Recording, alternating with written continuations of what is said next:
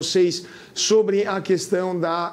Um, é, da situação lá na China, como isso impacta o Brasil e o que esperar também, não somente da, da Vale, por exemplo, que obviamente seria uma das mais impactadas, mas também é, do, do, do, câmbio, né, do real, porque a gente viu é, uma, um real se valorizando nas últimas semanas, últimos dois dias basicamente voltou aos cinco reais por dólar. Qual a opinião de vocês sobre esse ponto e como isso pode afetar o Brasil?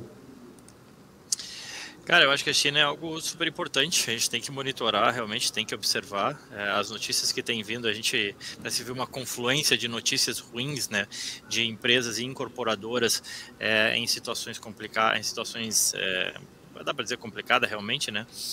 Ah, e esse, essa visão sobre China, do mercado imobiliário chinês, é algo que volta e meia, né, volta à tona no mercado. Eu lembro de a gente ter conversas em 2011 sobre o risco do sistema imobiliário chinês, o shadow bank chinês. Então, volta e meia, volta à tona.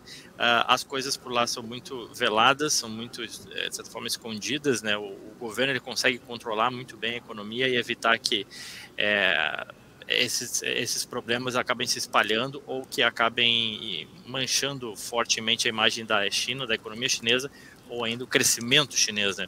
Agora é super relevante para o Brasil, né, que foi cada vez mais se alinhando e tendo como um parceiro comercial importante a China. Essas notícias, sem sombra de dúvida, elas vão muito além da importância no impacto da Vale especificamente, mas você tem frigoríficos, você tem várias outras ah, empresas e setores que são afetados por isso, né?